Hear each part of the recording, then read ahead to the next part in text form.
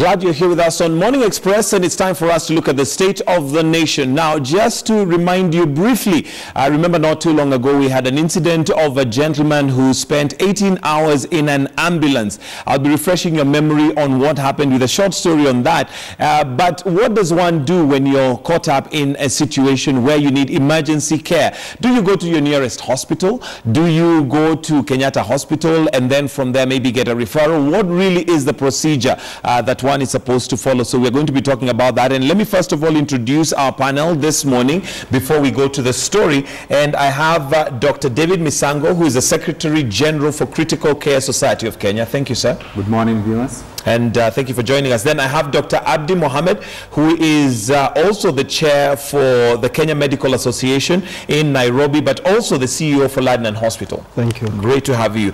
Now, um, gentlemen, I'll come back to you, but what I'd like us to do, first of all, is just a refresher of a situation that we had. And this is not a unique situation in that it's not just a one-off. This happens almost every single day. But the question that remains in our minds is, what do you do? Because again, don't forget, when you're in that situation, you're not in a frame of mind to think and make quick decisions. You need to have the information beforehand so that if it happens, you know what to do. But first, let's start with the story. The yearn for compassion and care, considered a right for every patient who seeks treatment in hospital. But whenever the issue of money crops up, well, compassion takes a back seat as patients suffer negligence by the healthcare providers. Sasa hata service hakuna, hata madaktari wengi wamefungwa private, so tunafinyika. Ni ukweli. It is for this very reason that a young family is in mourning. The late Alex Madaga's family. He died as he waited for specialized treatment for 18 hours. This after being turned away by four hospitals, including Kenya's premier referral facility, the Kenyatta National Hospital. And although Health Cabinet Secretary James Macharia wants answers from the Kenya Medical Practitioners Board in three days, the Kenya Medical Practitioners Union seems well prepared with the answers. If a hospital says that we do not have capacity or that we do not have the ability to offer you these services and then they refer you, there is no provision in the law for them to be punished. wanaweza kuacha hapo kama wewe ni mgonjwa wa kutibu akuangalia shule ni nini shida ni nini sinaona hiyo kama mgonjwa nafaa ushughulikie haraka Before registration, all medical practitioners take the Hippocratic Oath, an oath that compels them to safeguard human life by all means possible. The oath reads in part, I will tread with care in matters of life and death, if it is given to me to save a life. Through the oath, the medics further swear, and I quote, I will remember I treat a sick human being whose illness may affect the person's family and economic stability. My responsibility includes these related problems. And so, what has happened to the medics thereafter? There are a number of clerks and administrators who do their jobs well, but quite a number of them also uh, they don't have the empathy and they also don't have the ethics and the codes of medical practice. So if you go to any hospital, public or private, and the first person that you see is not a healthcare worker, Si ni wanyonge, Haya, hatuna hiyo pesa mingi ya kupeleka mtoto private ama mimi mwenyewe. You must understand that I'm just human. I cannot provide.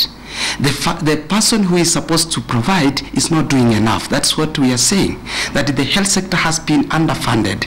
All the four hospitals reported to have denied Madaga treatment now claim they did not demand for cash deposit before admission. It is not the first time that medics have been accused of being careless when handling patients who are in the dire need of treatment. Two years ago, KTN News covered an exclusive incident where this woman delivered on the floor at the Bungoma District Hospital.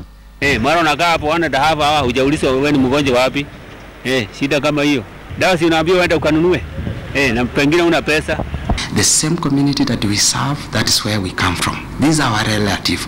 No doctor, no health profession, a clinical officer, rather nurse, will want to lose a patient on such a, uh, a ground. But as Madaga's family prepares to lay him to rest, The hope of Kenyans across the country is that he will be the last victim of negligence by medics. The question that remains unanswered, however, is do medics swear the Hippocratic Oath just as a formality for admission to the health profession? moreni Mwangi, KTN News, Nairobi. That is the situation, and uh, for Madaga, we may God rest his soul in peace, and we also do condole with the family. But that also brings us to what we want to talk about this morning, and it's the state of critical and health care in this country. What does one do? And just a quick introduction in case you're joining us now, I have Dr. David Misango, who's the Secretary General for Critical uh, Care Society of Kenya, and Dr. Abdi Mohammed, who's the Kenya Medical Association Chair for Nairobi, but also the CEO for Ladnan Hospital. Now, let me start with you, Dr. Abdi. And uh, Ladnan Hospital, we do know, has been since cleared of uh, any wrongdoings, but maybe by virtue of the fact that you're the CEO, you would probably have followed that case and you know exactly what happened. What happened? Uh, thank you very much. Uh, I would like also to take this opportunity to uh, condole with the family. Uh, what happened was uh, there were no ICU beds. Uh, Generally, we, we had three patients who were in ICU, and among the three, one of them came on 29th of September. Uh, that is like a week earlier, the incident happened, and was brought by Red Cross, whose relatives were unknown. So, but we had an ICU bed, so we accepted. They went to Kenyatta, they couldn't get a space, so they didn't have money. They didn't know even the relatives, uh, and we had at that particular time. But, and but in, still in, in the case of in, Madaga, in the case of Madaga, they came. Uh, they were on their way to Nazareth uh, Hospital. and shortly, I, I just want to keep it brief so that we go to Yes. the, the solutions. Yes. Uh, and generally speaking, there were no beds. There were no beds. So it was not possible for you it, to it, it was not, and you see already the patient was uh, ventilated, meaning if you remove him from the uh, ambulance, you must have a machine to connect him to. Otherwise, Immediately. you become negligent. It now it falls on you. So you must move him from that bed uh, in the ambulance, ventilated, to another ventilated machine. If you can't, then you are very negligent. You rather keep that patient in that ambulance and give whatever support that's needed in the ambulance than remove him from there. So that is exactly what happened. We couldn't uh, remove him on our end. Yes. All right, Dr. Misango, as the Secretary General of Critical Care Society of Kenya, uh, was what's your take on how things rolled out? You probably have information, especially in, in terms of some of the challenges that the hospitals also face, because we don't want to sit here and also demonize and say like there are no challenges. But in terms of what happened, what's your take on how it was handled? Uh, first of all, Mike, I would like on behalf of the Critical Care Society of Kenya to express my condolences to the family of the late Alex and on behalf of the Critical Care Society of Kenya, uh, just to say pole. Uh, however, all the information that I have personally is purely from the press, so I don't feel qualified to comment about it. What I can talk about is the general pathway we expect any patient who has the misfortune of undergoing such an incident would follow. Correct. And uh, we have a proposal that basically looks at prevention because most of these things you have to start from prevention. As you know, pre- prevention is better than cure. Uh, from prevention, you're looking at um the Traffic Act, how roads are constructed, how you can keep vehicular and human traffic separate. These are issues that are beyond us as medics. Correct. So from prevention, supposing the event occurs, how do we evacuate the victim? This is where the ambulances come in. We want to make sure that this is sorted out, evacuation from the site to the nearest or the primary health care facility. And then from evacuation, we're talking about resuscitation. Mm-hmm. There is primary resuscitation. What can be done at the first care facility before transfer to a higher level? Uh, that is primary resuscitation. Eventually, you have the definitive management of these patients, and this depends on what facilities are available. The primary site may have the definitive management as well, but many times they don't have, so they are forced to transfer patients for further management. And uh, lastly, we need to remember to talk about rehabilitation, because what you see in the press is just the beginning of the problems for these patients, but it's a long Process. process. Rehabilitation includes things like physiotherapy, occupational therapy. Some of them may not be able to go back to what they were doing before. So they have to be trained to do something else, to become uh, effective members of the community. And also don't forget counseling services. So it's a whole chain of things. So before we can just zero in and say this is where the problem is, we need to look at the bigger picture. the whole picture.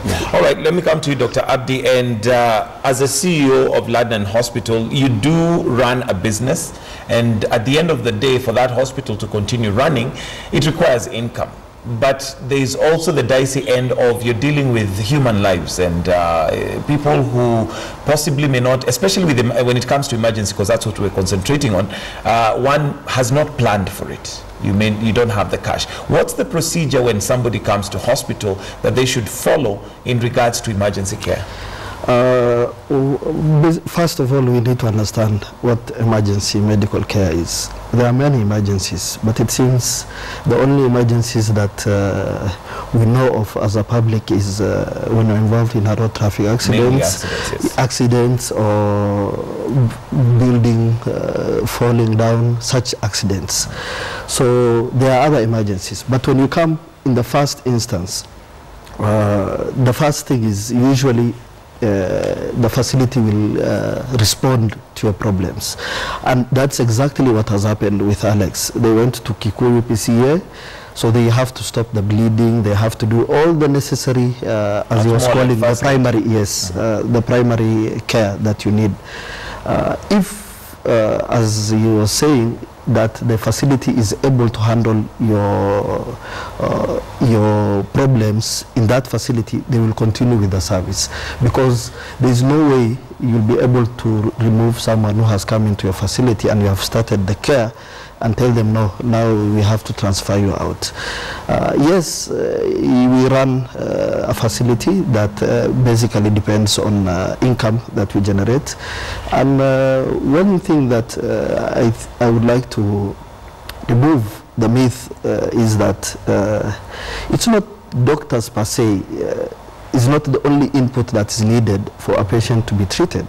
Uh, there are many other things that you will need. You will need the equipment, you will need uh, the drugs, you will need uh, uh, the other personnel. So a doctor could volunteer his time, maybe half an hour, one hour, two hours looking after that one patient. But the question is, when you have all these other responsibilities, and the challenge is uh, the suppliers of those things do not understand that you are giving free service. For them, at the end of the month, they expect you to pay them. Uh, so it's up to you as a facility. You will have some who will pay, some who will not pay, some who will take longer, but you will have to balance. And for me, what we need to address is healthcare financing generally. Okay. As you have said, you cannot, you don't plan for emergencies. If you ask today, if you don't have an insurance or you don't have NHIF, there is no way you will tell me there's a Kenyan who has set aside money saying this is for medical in case I fall sick. No one. Everyone uses their money. They will just, when they fall sick is when they will start looking for something uh, to pay. So we will have to start addressing uh, uh, the medical. And what he said, I want to add something even the response, the first response, I think it's time as a country we stood up and said we must have a coordinated approach so that you have a central dispatching center that says that knows all the ambulances and have uh, GPS tracked and send the nearest ambulance that is in the accident scene.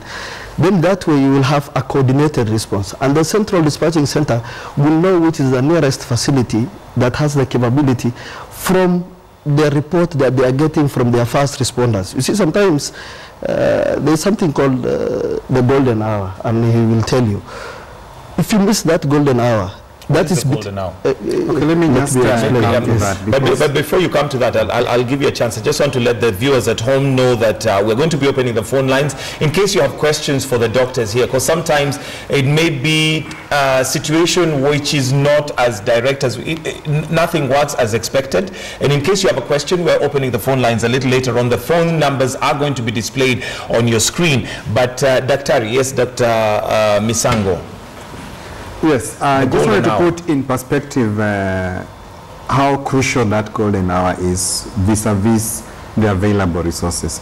Because we can't talk of golden hour if You What have nowhere to now? go. You know, you guys are talking about the golden now, and we, we don't know what that it's is. a concept that um, says, this is especially in trauma cases, within the first one hour, the body has a way of sustaining itself despite a severity of the, in- the severity of the injury. So if you can break into, the, into that hour and, And intervene and start uh, helping the patient, you stand a greater than 75% chance of uh, getting a full recovery, especially if it's a trauma case. But if you delay, the pathological or the processes that occur in the body that cause damage will be beyond your, uh, your ability to, to, To do anything to, do about it. anything about it. Okay.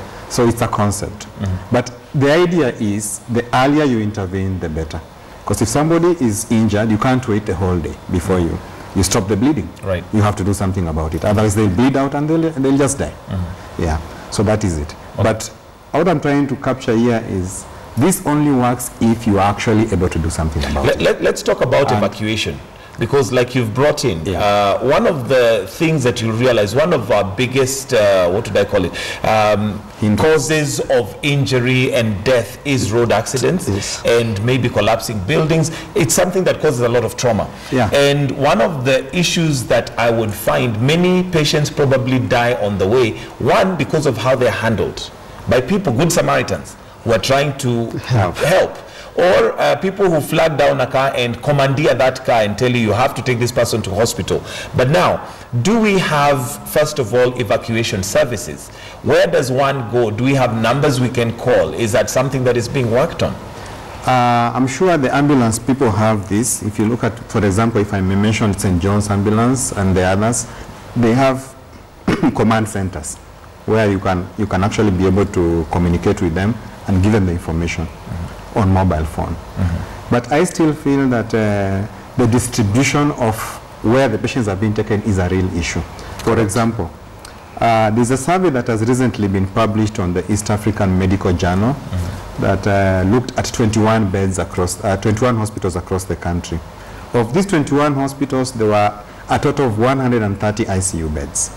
And that includes the two major referral hospitals, Kenyatta and uh, MTRH in Eldoret, all the provincial hospitals, former provincial hospitals, many mission hospitals, private hospitals a total of 130 ICU beds. Now, the problem is they are distributed mainly around Nairobi. Uh-huh. So if you have a casualty coming in from way out there in the rural areas, uh-huh. even if you had somebody who was capable of doing that initial resuscitation, you really cannot move the patient to the next level. So there's an issue about the distribution of those Of ICU beds. And 130 beds really is way too few for 40 million people. Mm. Now the problem now puts pressure on the main referral hospitals. So we have a, a hospital like Kenyatta with 21 beds. It's not really a catchment area only for Kenyatta patients. It's for the country as It's it basically for the country. Right. Because everybody in the country is looking at Kenyatta. Mm. So it's almost always full. So these kinds of cases will occur many, many times. So one solution is probably to distribute the ICUs or put more in the county hospitals, the county referral hospitals. And that's one thing the Critical Care Society of Kenya is trying to, to push towards. And we are in contact with some county uh, medical representatives to look into this kind of thing. Yeah. Okay, Dr. Abdi, now that you run an, a, a hospital that has ICU, looking at it as a private uh, hospital, is the government, in your opinion, doing enough to ensure that we increase the number of ICU? Because I'm sure they'll talk about costs, they'll talk about that, but really, Uh, I, I, You can take that one. Because he's in the private sector. I look at him as one of the people that is trying to providing help a the government. solution. Providing a the reason solution. why I'm asking is the because primary, he, he, he, he the primary responsible person here is the person to whom you and I pay tax to. Right. Because him, he's coming to bridge a deficit. Mm. So really, he, he cannot He's- be... he's solving a solution. He's, sol- He's he's, trying to give a solution. Right. So if the person supposed to provide the solution is the person to whom you and I pay tax to. So we need to challenge them and ask them, what are the taxes doing? So once we have established that the taxes are actually being collected, the next thing is to ask the person responsible for distributing. Is he giving to a cabinet secretary enough? Mm. And if the cabinet secretary is doing the correct thing, he needs to challenge the people in the counties whom is giving these funds to because health has been devolved. Are you doing the right thing to meet this shortfall? And we have to go down all the way until we see where the problem is. Where is the problem? Once we establish where the problem is, then we maybe we can start talking about a solution. Okay. For, for, uh, for me, uh, I would say uh, if I was asked, there's no need. It's not a must for the government to provide. But there are solutions that can be found. A very simple solution is uh, for every liter of fuel that uh, we buy for our cars, there is a certain charge that they put in that's called fuel levy. It's around, I think, 9 to 10 shilling. 10% of that fuel levy can actually be used to cater for road traffic accidents. And this is what I'm saying. It's possible to have a centralized uh, System. system that puts all ambulances across the country, irrespective of whether it's St. John or it is Red Cross or it is owned by a hospital. Uh, they are put in one centralized place and they are funded from that and uh, what you can also do is from that fund, patients are taken to accredited facilities. They don't have to be just government facilities. They can be in private facilities. Pre-agreed that they have certain capabilities to do certain uh, things. So when those patients are taken, you get the fund from the first instance is that fund caters for that medical bill. But for every accident other than hit and run, we know which cars were involved. The police investigate. If the that vehicle had uh, was in the wrong when it caused the accident, then they are surcharged for that medical bill, and for sure this will be the end of our many careless accidents. You know, when you are a ma- matatu owner and your driver causes an accident and you are given a bill of two million, then tomorrow you will not hire a reckless matatu driver. You will hire a proper matatu So, driver. putting systems in Syst- place that actually can that do that. and you see, this occurs on our roads mainly. So we have to punish the people who are causing, not the patients who, uh, who by they were either in those just caught in. Yes, yeah, Um, um, I'll, exactly. I'll, I'll cut you off there because I want to take a call from Juma Olunga, who's calling from Nairobi. Thank you for calling, Juma. You have a question or comment? Please go ahead. Okay. Okay. Thank, thank you so much. Huh? Thank you so much. First and foremost, I would like to, uh, to, to, to say sorry to the family of Madaga for what we went through. It's really bad for the country and uh, especially at this time.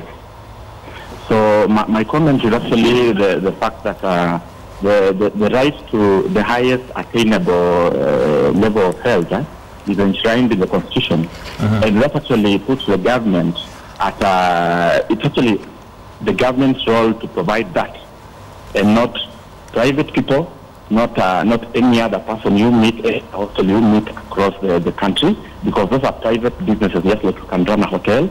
So the government must put in place measures that will ensure every Kenyan has uh, a, a way to attain that kind of uh, level of health, eh, uh, regardless of how much they own or uh, what level of uh, social status they are at. And secondly, I would like to comment on the case of um, uh, Madaga, rest in peace. Uh, I think from what happened there, uh, just like Dr. Abdi has put it, eh, he was on a ventilator in that ambulance, and I would not want it to be put across that uh, he was left to suffer in ambulance. In Uh, ambulance Ju- Juma, could I, could I just Uh, request that you speak a bit louder? I'm just struggling to hear you. Uh, just a bit louder. Okay, I'm saying uh, the Madaga was in the ambulance for 18 hours. Huh? And uh, in the ambulance, uh, it's actually an ICU, a mini ICU without a doctor. Right. So if he found a hospital without an ICU bed, eh, and he is in, he is in ambulance, eh, maybe just like Dr. Abdi put it, eh, it would not be safe to bring him out of the ambulance and pretend to be handling him in the hospital when there's nothing to do as a doctor. Regardless of the fact we took a, a, a Hippocratic oath, eh, we know it is safer in the ambulance until we have an ICU bed to put him on. Okay. So, uh, and unfortunately, the doctors are in the hospital, and they, they took the Hippoc- Hippocratic oath. The hospital did not. So maybe the hospital is run by a uh, private personnel or somebody who is not even a doctor, and uh, you, you you listen to him. Okay. All right. Okay. Thank you very much, Juma Olunga from Nairobi, for your call, and I'll come to you, Dr. Uh, Misango.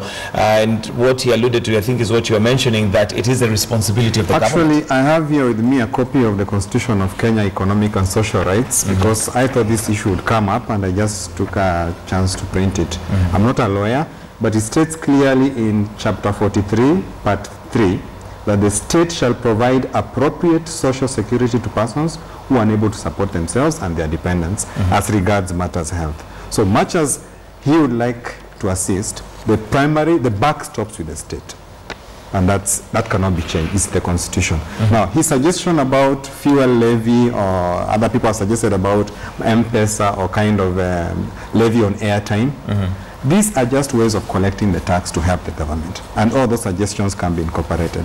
But at the end of the day, it's the government supposed to give this service. For example, how would his private hospital be indemnified if they took the primary responsibility and the secondary responsibility of that patient if the patient didn't pay the bill? The government will say, we have nothing to do with you. Hmm. You are a private institution, chase the bill. Hmm. Or if you are to chase the people who caused the accident, somebody will say, no, I didn't cause the accident. Hmm. The Prove I caused pedestrian yeah. caused the accident Right. by jumping onto the road. So it becomes a court case. But he, he expects bills to be paid. Somebody has to pay the bill for the hospital to run. Who is this somebody? Who's going to So the indemnify? buck stops with with the state, really, Yes. to which we're paying taxes. Y- Yes, and uh, those are some of the s- simple solutions that can be used. Uh, pay, collect central fund from the fuel uh, fund, and then have a centralized system and an emergency line, uh, not uh, this big line that uh, 07 or what what. You can have 911 or 999 so that at least there is a way it's coordinated. And as we have told you earlier, the golden hour is the crucial hour. crucial hour. So that is when you need the people who are responding are not the common man on the road who are just pushing someone uh, to more complications than they think they are helping. Okay, we'll come back to, to, to the solution, es- especially in regards to what do the people out there need to know when it comes to helping, because ideally they're actually just trying to help, but uh, without information. But before that, as the Secretary General of Critical uh, Care Society of Kenya, Dr. David Misango, is there any push from your society and maybe from the medical front and doctors to ensure that we put the state where it should be? Because you're the ones who have to deal with us when we come to you, yet you know the challenges. Yes, uh, we are already in, in talks with the ministry. There is already a department within the Ministry of Health that is dealing with critical care issues. And critical care issues encompass beyond uh, trauma and surgery. They go on to infectious diseases, maternal, neonatal problems, and this is already in discussion with the ministry. So we are, we are, we are on the ground about that. Uh, the other thing is, um, for long, we have always complained that we do not have equipment Right. uh, to deal with these kinds of uh, emergencies. But now we are beginning to see equipment slowly being brought in. And what we are having to catch up, to play catch up is with the training of our personnel. Because too many institutions do not have trained personnel. So sometimes patients may be referred just because you don't have the technical expertise on the ground. So we as a society, we are busy training individuals from all over the country to deal with these kinds of uh, emergencies. Emergencies. Yeah, so it's Okay. already But, on- uh, on- uh, to add on to it, but you see, emergency care and uh, ICU care and uh, rescue services, I think those are some of the things that should be a national asset. That is actually where the government should take the lead and say we have a centralized system of working. And for there are so many times I see in the media people talking about Hippocratic oath, Hippocratic oath. Yes, uh, as a doctor you have a certain limit. Uh, There is something that uh, we always forget. Doctors are sons and daughters and fathers like any other uh, professionals. They are professionals. Uh, they earn a living from the work they are doing. That is their main, because uh, at the end of the month they have to pay rent where they live. And those houses are owned by other Kenyans. So they are not given when they go to the supermarket, like you and me, they pay. Uh, they don't get. Uh, But- but if so meaning for them also, uh, we expect that uh, they must earn something. They will do their part. So the Hippocratic oath perhaps should be by everybody, from Okay, wait, the, wait, from the wait. minister to the president, so that Okay. they put in the right uh, in terms of equipment, in terms of uh, Okay, personnel. we'll, we'll come to the Hippocratic Oath because I know there are many people who literally crucify doctors eh, based on that. Uh, when you look at things like the strike that we've had recently, and they've been a matter of life and death. But let's take a call from Jacinta. Jacinta in Nairobi, thank you for calling, Jacinta. Good morning, Jacinta. Hello. Yes, good morning. Morning. Mhm. Eh, mimi nilikuwa nataka kuchangia kuhusu hiyo mswada. Hao madaktari naona hiyo watu wanachukua hata wafuatilii kabisa. Nimejifungua mara tatu kwa public hospitals na nimepitia tu kuchapwa, kuteswa. Last time nimejifungua five months ago on the floor after spending over six hours in the hospital. Six hours? hours? Mhm. Eh, nikajifungua peke yangu on floor, mama nusu hospital hapa. Okay, um, thank you. We'll answer to that. There's also Mweni. Uh, good morning, Mweni. Uh, Hello. Hello? Yes, good morning, Mweni. Uh, to your comment. Hello. Uh, good morning. yes, good morning. Go ahead, Mweni. We can hear you. Okay, um, first I would like, I'm very appreciative of seeing this on the TV. Um, morning. Good morning. Morning. Yeah, I'm saying I'm very appreciative of seeing this in the TV. I've been abroad for like 18 years.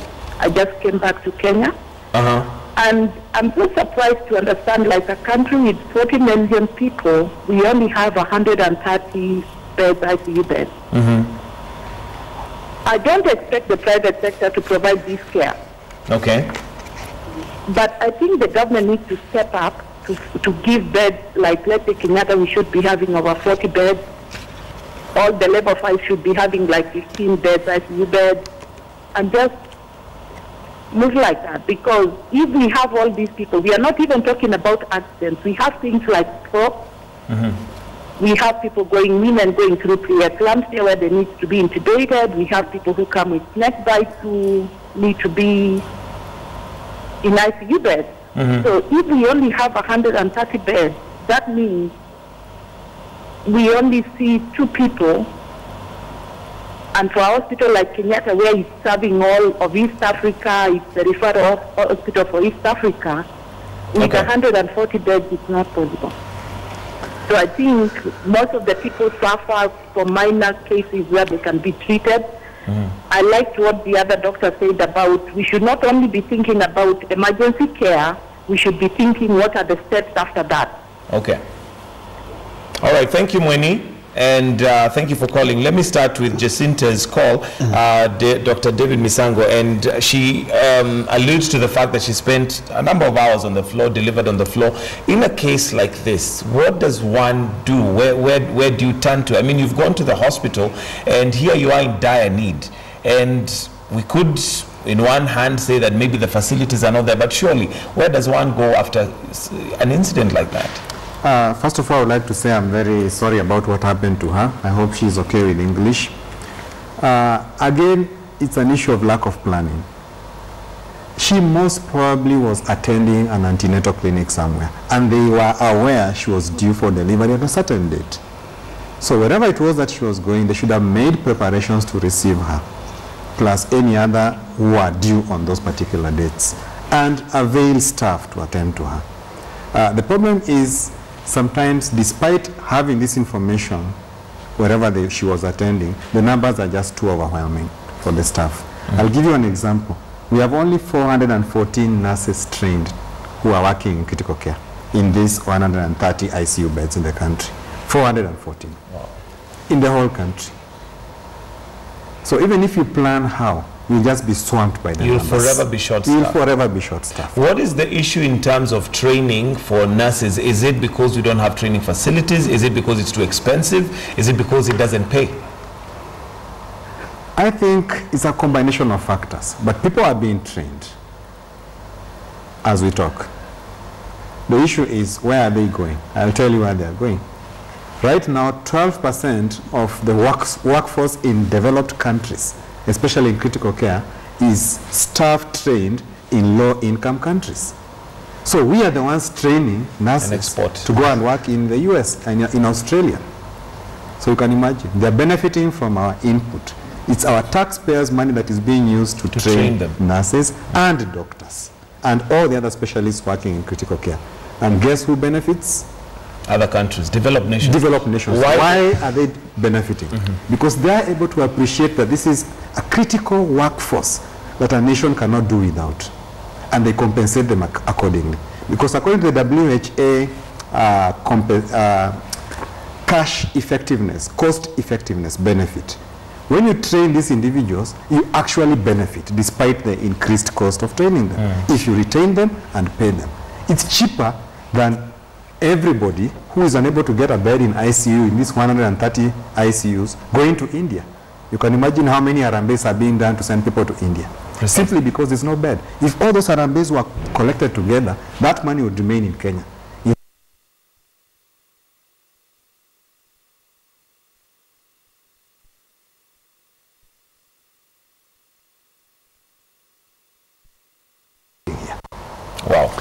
Okay, let me come to you, Dr. Um, uh, Mohammed, and this is in regards to the Hippocratic Oath. As a layman, my understanding of the Hippocratic Oath is if I come to you and I need care, you have no choice. You have to take care of me. Is- you have sworn.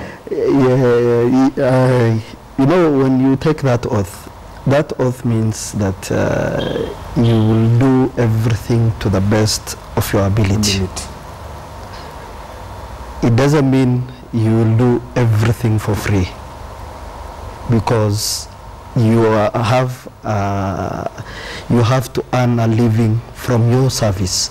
But you will do to the best of your ability in terms of your knowledge your skills that you will not uh, restrict on what you do.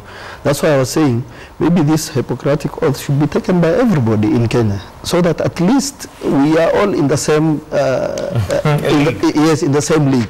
So that whoever is responsible to provide for uh, allocate funds does that because they have taken the Hippocratic oath. If that is what will make us uh, fund the healthcare. But now, as a doctor, when you talk about uh, you, it'll take care of also your, your financial side, are you going to weigh between, are you going to pay me and saving a life? Don't you save the life first, then we can talk about the Uh, payment? but you see, Yes, but, yes, uh, please. uh, Um, I, I- I just wanted, I, was, I just wanted to say, you see, there is the part of you have saved, you use your skills, but you need an input.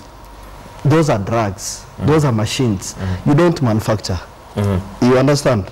You don't manufacture the drugs. You don't manufacture the machines. You don't own the space. All those need money, which is not yours. Okay. So meaning, on your part, on the road, you can do what you can do with your hand, bare hand, because that's what you know, or that's the skills that you have, you are giving. But it's not you to do to buy the drugs also. And take- Someone else must come in. Okay. That's I why I'm saying come- that I want to someone else also Dr. to Sango, do it. but let, let me take two calls so that we just have all the questions on the on the board. Then we, we can go to the answer. Uh, but we'll start with the Hippocratic Oath. But let me take a call first of all from uh, Mweni Mudhoni, who is in Umoja. Uh, Mweni, thank you for calling. Mweni? Yes, Yes, Mweni, go ahead uh, with your comment or question, please. I have a complaint and a very bitter one. Sorry? I have a complaint. Mm-hmm. I was expecting my kid on September. Mm-hmm. I came to Kenyatta Hospital. Mm-hmm. Whatever they did to me Mm-hmm. was so unpleasing. What did they do to you? I came there, was kept there for one week. Mm-hmm. After that one week, Mm-hmm. my the, the membrane ruptured. You had? Membranes rupture. The okay. membrane ruptured on Sunday. Mm-hmm. Then they kept on telling me, mama, kaa kwa kitanda, acha kutusumbua. Mm-hmm. The membrane ruptured on Sunday and they were, they did not take action to facilitate for me to get my baby. Mm-hmm. What they did, they left my baby to die in my home. Oh dear. They started acting on Tuesday. They, it's when they were trying to take my baby from my home. Okay. I had kept telling them, they help me, they help me. They told me, Mama, stop uh, bothering her. Mm-hmm. The worst, Mm-hmm. I'm a cardiac patient. All right. All right, I Mweni, kept telling, um, I had you. kept telling them Mhm. to give me a permission to go to another hospital like Nairobi Hospital or Avenue Hospital. They refused. I ended up without my baby. I'm so sorry about that, uh, As, as I'm talking, I'm in my house. Mhm. They never bothered to follow where I went. Mhm. They were just calling me to ask whether I'm going to clear their bills in Kenyatta, and I just answered. All right. Thank, thank you, Mweni, for calling, and sorry about losing your baby. We really um, do condole with you, uh, but we'll answer your question as, as we can. Let's go to Anna Kenywa, uh, who is calling from Thika. Anna? Yes. Yes, go ahead with your comment or question. Hello, how are you, gentlemen? Very fine, thank you. Uh, I'm calling from Thika, Mm-hmm. and I am I'm a nurse, Okay. and I work in the emergency department. Mm-hmm. And now I feel that when a, a patient comes and is in the ambulance, Mm-hmm. sometimes we don't receive that patient immediately if we don't have all of them in place. Mm-hmm. Because when we are in the emergency department, Mm-hmm. most of the times we have more than three patients on oxygen. Okay. And we feel that when the patient is in the ambulance, it's more safe than when she or he comes in the bed in the emergency department. Okay. So, Mm-hmm. for me, when the patient sometimes is kept in the ambulance, Mhm. it is also good for the relatives to understand we are not just keeping that patient in the ambulance for the sake of not receiving the patient. We keep the patient there because we know it is better for him or her being in the ambulance. Okay. I also take patients to Kenyatta. I, I escort patients going to the referral in Kenyatta National Hospital. Mm-hmm. And when I arrive in Kenyatta Casualty Department, before I remove the patient to the from the ambulance, I, I- I'll need you. I'll need you to summarize, uh, Anna, because we are running out of time. I'll need you to get to the point. okay, thank you so much. I confirm whether we have a bed in the acute room. Okay. So if there is no bed, we normally stay with the patient in the ambulance before they get the bed. All right. Thank you, Anna Kenya. And uh, let's start, first of all, with uh, Mweni, who was kept for one week. There was a membrane rupture, is that what she called it? And uh, the baby died in her womb. I mean, Yeah. Uh, this is somebody who's in hospital. We're not Yeah. even talking about now being received. I think this may not be the right forum to really address the specific details of what happened, but I would advise her to take up the issue with the hospital administration so that they can be able to do a root cause analysis for what really happened. Because her version may be different from the, the other people's The other version. people's, yeah, we need to hear the whole story Yes, to identify. But now, in a case where you Um, feel you- there's been negligence from the doctors or the nurses or those giving you care, Yes. where does one go? You feel like these are your... The first place to go is the hospital administration because they're the ones who are supervising the doctors on the ground. Correct. And if you feel aggrieved further, you can go on to the medical practitioners and dentist board. Okay. Yes. All right, Or let me you can get any lawyer to help you. Okay. Regarding the issue of the Hippocratic oath, I would like to, uh, to add to what my colleague had said. Okay. You know, the fact that we take uh, an oath of allegiance to the Hippocratic oath doesn't absolve the public from individual responsibility. Responsibility. I cannot, for example, sit three or four people on a boda boda and say, I'm entitled to treatment should I have an accident. Because you're already putting yourself at risk. So if you put yourself at risk and something happens to you, you may not actually get what the Hippocratic Oath institutes you should get. Because you may be in a place where you're not able to be helped in good time. So first of all, we as individuals need to take some individual responsibilities and take care of ourselves. This is why I find it uh, funny that um, we can have a highway, for example, the, the main highway to Limuru from Waiyaki Way. There are so many pedestrian crossings across it, but there is no single uh, flyover for the pedestrians. And yet on Thika Road, we have so many. So what, what's the difference between the two? Every day, pedestrians actually have to dash across the road. They take a risk. There are no bumps, there's no nothing. If anything happens to them, who is responsible? Wow. This is a problem. So somebody somewhere has to take The, the responsibility. the to- responsibility Yeah. before they can accuse doctors of having not acted on the Hippocratic Oath. Okay. Because once everybody does their bit, including facilitating the doctor that has taken Hippocratic oath mm. to work, mm-hmm. then there's no problem. Mm-hmm. Yeah. They're, they're ready to work. They're ready All to right, work. Let, us talk about Anna Kenyue's comment there because it's good for us to understand. And what she's saying is speaking from a nurse's perspective. Yeah. Because when we come with a with a patient, casualty. uh, the expectation is why aren't you taking the patient? Why are you leaving them in the ambulance? And uh, from uh, she gives a valid case that sometimes the patient may actually be safer in the In the ambulance. ambulance, then, Exactly. yeah. And, And uh, this that's is, what usually happens. Yeah. Uh, so you will find that ambulances are just standing outside the casualty. There's no one, everyone who comes and sees what the patient needs and they look at what they have, they can't. So they will rather leave you where you are. You're safer there. You are safer there because once they do put you in, they become negligent and they don't have the necessary equipment or uh, to sustain that life. But uh, as we all know, health has been devolved.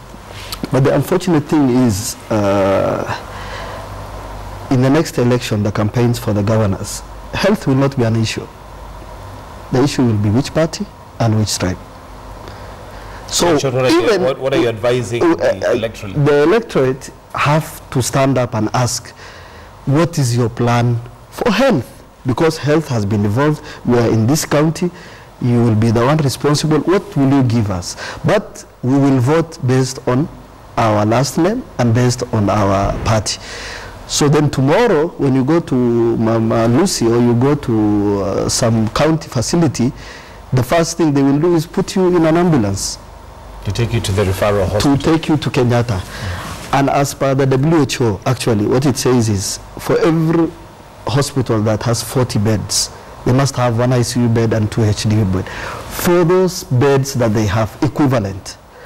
So when Kenyatta says they need 63 or 73, it's based on those ratios. So meaning Kenyatta, the 63 that they were talking about was meant purely for the patients they have admitted, not referrals from outside. So meaning every facility, if you have a provincial hospital that has one uh, uh, 300 beds, they must have 40, for every 40 bed, one ICU bed and two HDU bed.